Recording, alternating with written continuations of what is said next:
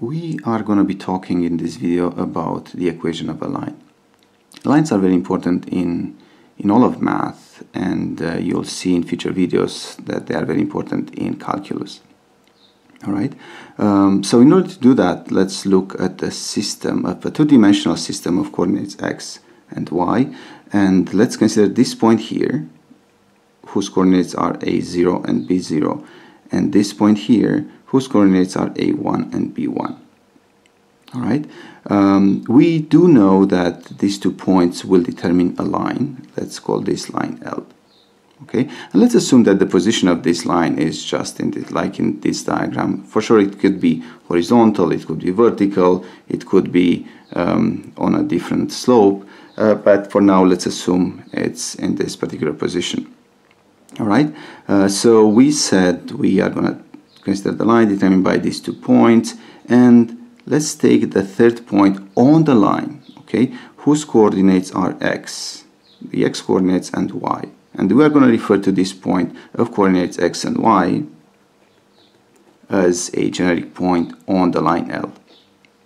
Now if we remember from basic geometry um, we see that this line L with lines parallel to the x-axis and respectively the y-axis of the coordinate system determine a big triangle here. From this point to this point and to this point is one triangle and from here to here to here is another triangle.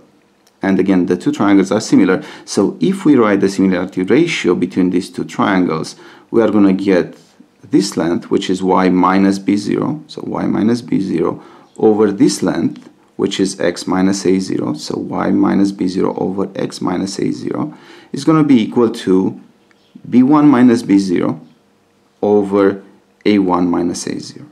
So this is the equation of the line that goes through this point whose coordinates are a0 and b0 and this point whose coordinates are a1 and b1. Alright, uh, now we can actually refer to this particular fraction as the slope of the line.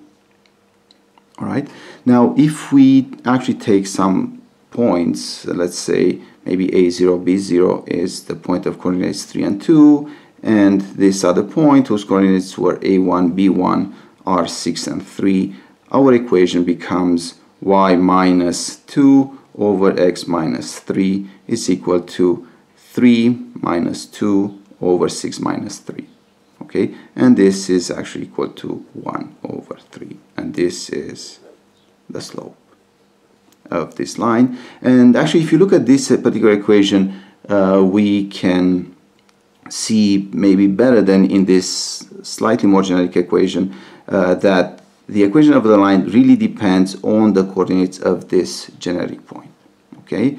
Uh, the coordinates of the two points that actually determine the line are numbers and we can just plug them in and we get actual numbers.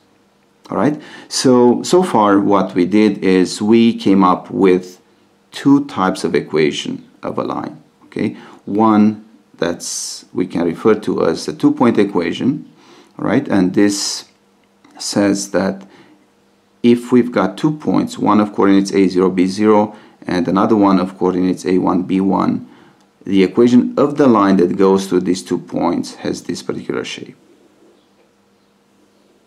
All right, uh, and now, like I said at the beginning of the video, we kind of assume that the line is in this particular position, and um, I'll let the viewer figure out the equation of the line that's um, parallel to the x-axis or parallel to the y-axis. It's very simple.